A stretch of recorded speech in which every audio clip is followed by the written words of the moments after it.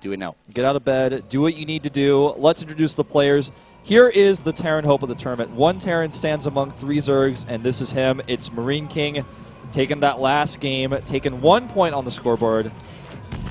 And to the left, we have his opponent. It is our StarTale player, StarTale Life, with a 2-1 a favorite in this tournament. A lot of people said he's going to be the one. He's going to be the one take them down. But now we have Marine King on a map where Terran players are not too happy against Zerg. Yeah, it's it's a rough map for Terran in general. The third base is far away as Yeah. a Zerg player, but this is why Life knows to check for proxies right away because he says, well, Marine King might not want to play a long game on this map. He might not want to trifle with that third base, so I could see him proxying. So he checks the line of sight blocker. He's being very active with the scouting right now. The map is a little bit worse for Protoss, but for Terran, it's also you can always get at your third base with a yeah with a planetary fortress.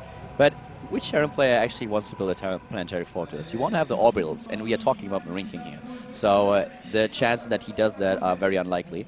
What he does though is gonna go into the fifth, uh, the 14 CC again on the high ground. He's not gonna take any chances here. And Life has the drone scout out, and he also has currently his own hatch building. So needs to make sure that the drone doesn't do any damage. But Marine King with a good opening, playing it a little bit safer though than on Get Map yeah, number one. with these two openings collide, there's really no advantage to either player. It's it's a pretty safe situation for both. Marine King now, once he finds out what Life is doing, if he scouts, which he's been reluctant to do so far in the series, will be a little bit disappointed he didn't make his command center on the low ground. Yep. But that's the only thing he can really be sad about. It's still fine. I mean, this is a good opening. You have the command center out early, you go into your barracks, and then you can just do whatever you want in the main base. He would have loved to deny the scouting because he wants to go into the double gas that we see now. A refinery, boom, number one, number two. Ooh, he may trap the drone. The drone hasn't seen Has- this yet. Yeah, that hasn't been scouted. And wow, he actually takes it down. No scouting information for life. This was really well done Yeah. by Marine King.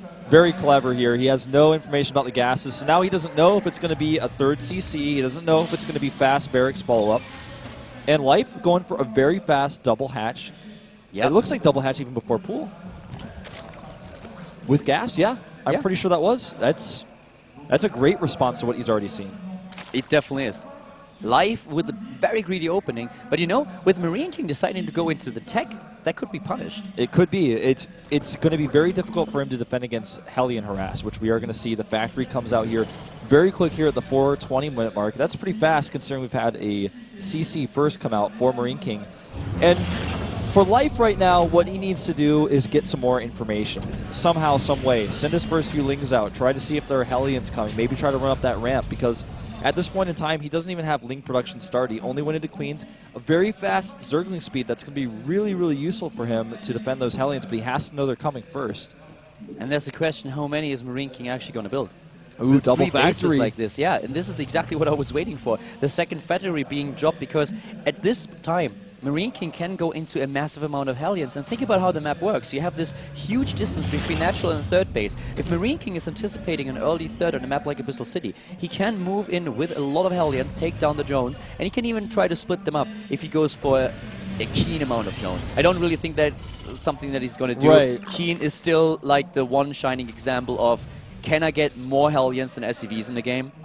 Yeah. Is he? uh, Do I build more Hellions or kill more drones? You know, uh, can his drone count exceed his Hellion count? He's always trying to find the balance. um, I think we're just going to see the Infernal Pre-Igniter go down. We're going to see a switch on the factory. There it is.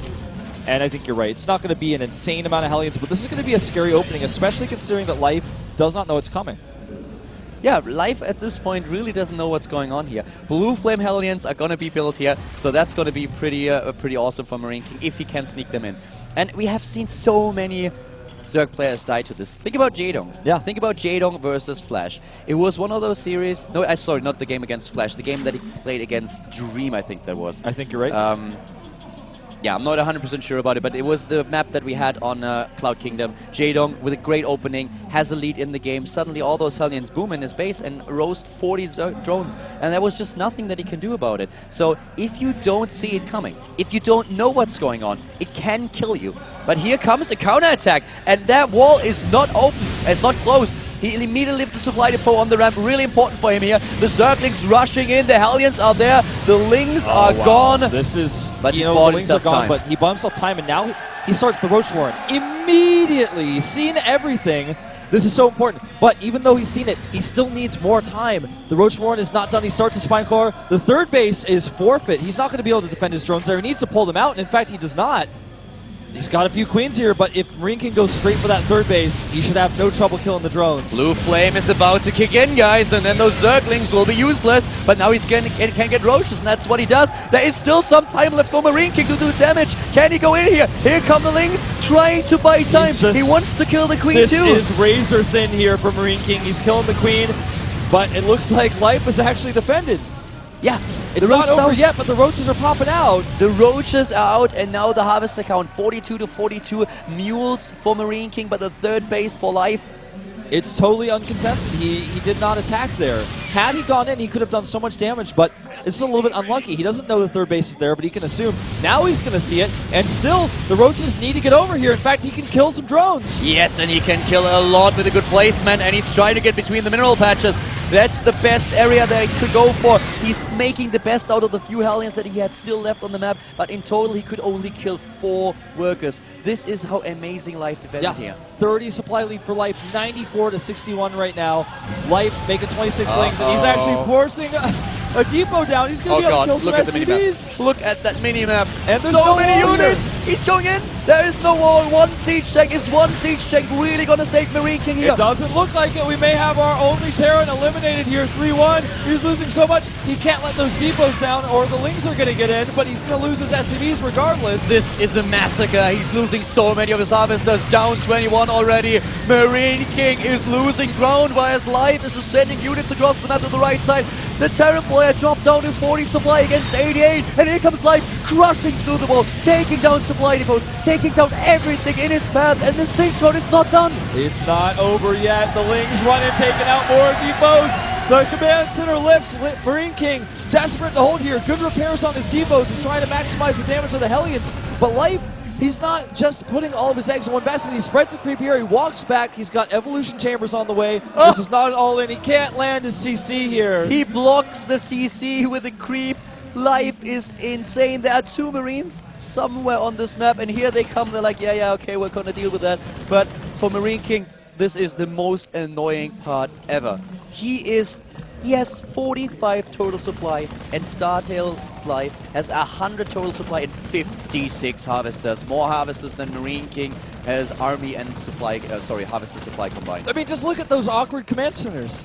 Look at that. They're We've floating there. One Marine, because that's all he's got. He doesn't have anything to even remove the Overlord. Now he has to wait. He's got two awkward floating command Yeah. centers. That's all his hope he's got here. They are just standing there, standing still, looking pretty, but nothing else that they can do and accomplish.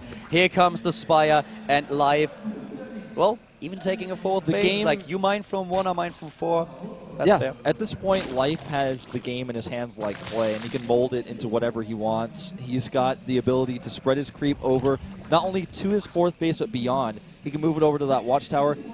Lings alone are not going to cut it against these Hellions on the map. That's one of the reasons I think where we're seeing the Spire. I think what we're going to see is him build up to attack at Marine King's eventual third base with a ton of Lings, Banelings upgrades. He could go for Roaches instead of Banelings, which it seems to be he's getting Roach speed right now, even getting plus one for his Roaches. At this point, really, Jurassic Park was proven to be true once again. Life is going to find a way. This is the story of this fourth map that we have. Life now with his perfect position. Marine King, he is known for his GG timings, and he is going to fight to the last SCV, to the last second. He knows this is the last map, but now it would be not only a small miracle, it would be an incredible miracle if he can turn this game around with Life being in such a dominant position. Yeah, you know, the problem with this incredible miracle is that life's good, man.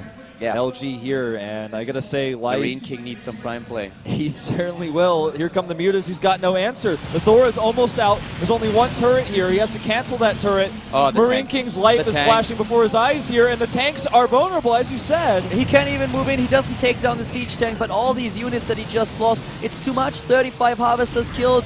There There's the are the, Thor. Mutalisks. Are they going for the... Yes, they are going straight for the magic box. Itra introduced it to professional play. He didn't invent it, but he was the one who we saw use it first yeah. in, a to- in a major tournament. And now Marine King, yes, he saves the Thor. There were too few Mutalisks to take down the Thor and the Harvesters, but still, this much pressure.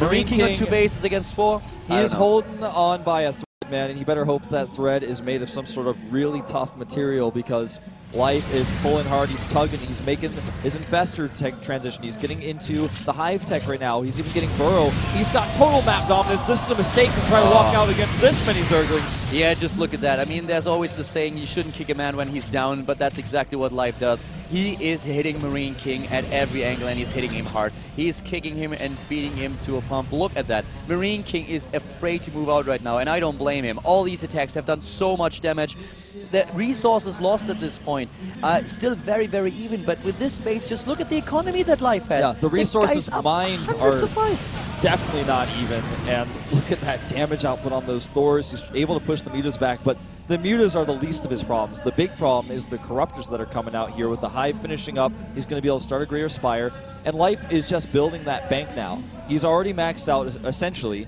He's got a few more corruptors he wants to make. Then once his Greater Spire is finished, he's going to put that bank into Broodlords, and Marine King does not have the economy to really make Viking transitions possible. He's starting another starport now. He's trying. He's trying, you know. He's really holding on here. He's been able to defend so well, but his economy is in tatters. Where's the third base? It's moving over now. It's going to be met with a Ling. In fact, a Ling that is burrowed, so this is just further annoyances for Marine King. Uh, I mean, you can't blame uh, you can't blame a girl for trying. Marine King is trying his hardest. He's still in a position where he wants to get this this massive amount of army of mech that we talked about in uh, game number one. Uh, he wants to just have a chance here. This is the last map for him. Life is taking bases all over the map, top left, bottom right, and moving in at the same time, trying to finish it. This is just it's again, a trade for energy for units for life. He didn't actually get that much done, and I have to say, Marine King is really holding on here tight. And the closer he gets to the max, the the better chance he has of winning a fight. But winning one fight may not be enough. When that Greater Spire finishes, we are going to see Broodlords fly. Exactly, that's the point, the Greater Spire. It's not only about reaching that max, but it's about this tech advantage that Life has. You can't hit the timing that you want. You are up against a player that has so many upgrades. He has an upgrade advantage. He has this sick bank, 3,600 minerals, all that gas. He has 52 larva. Life has 52 larva. How many times have we seen Zerg players die because they didn't have the production? But this is not something the Marine King can hope for. Exactly. This is not something Life is worried about in the slightest. Plus two for Roaches coming out as well as for Lings and Broodlings. The first eight Broodlords are morphing, and this is going to be a disaster for Marine King. He now starts additional Vikings. He's getting more Thors out. We talked about this already before. This is a great choice when you don't have the economy to make more starports. You just continue Thor production. Yeah, and you don't have the time. Exactly. He needs to get this out. This is desperation mode right now for Marine King. He needs to hang on here, take a fight, and then somehow be able to push across the map. But with the composition he's building, it's a slow mech composition. Even if he can hold and trade well against Life's army, look at that creep spread. He it's going to take way too long to walk across the map. And Life is going to be able to remax instantly with all that larva you talked about with the bank he's building now. He even has the Ultralisk transition on the what way. Life doesn't do, what I really would like to see him uh, build now, is Extractors at the top left and bottom right. He is not really starving for minerals, but he is really hurt when it comes down to the gas. Not because he doesn't have a good economy, but because he is just researching so much at this point. So if he gets the additional gas, Marine King has no chance anymore. Those Extractors could be crucial if he doesn't win this battle, but he has the better army for sure. He certainly does. The Corruptor's actually taking some serious shots from the Vikings and from the Thors. He's got enough Thors to hold this initial wave, but now the Broodlings are closing the distance. He's got Infestor support. Marine King is in trouble. He needs to hold so far. No it doesn't Vikings. look like he can really hang on anymore with all the Infested Terrans coming down. He's dropping in supply, and the Remax is insane. 122 Lings on the way for life.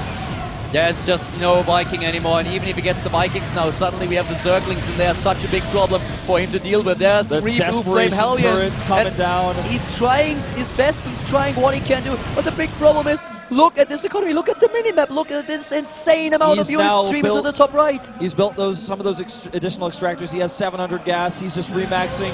And the next wave may be the end of not only Marine King in this tournament, but with Terran as well. Hammer. He's dropping the hammer, and he is taking him down. Marine King trying to hold on, shielding his Hellions, but he just does not have the numbers. There is too much too much of the swarm. Kerrigan would be proud. Life is overwhelming with Marine King. Zerg units everywhere in the natural, in the third base. It is just insane. It's and here comes much. the transition into the Ultralisk. Like you said, Marine King fights to the last SCV. His GG timings are something that we have talked about several times in the past.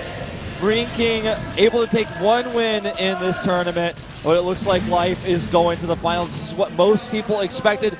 Great bungle on those Vikings. Marine King able to hold the ramp a little bit longer, but once those Ultralisks get in here, I just don't know how long he's really going to make this work. And what good is it going to be for him if he actually holds his main base? There, he can't even mine from the main base anymore. It's Marine out. King is just begging for mercy here, but life doesn't grant it. Yeah, we see some Vikings landing here, and they're almost as futile as the ones in the Heart of the Swarm cinematic at this point with all these Ultralisks running in.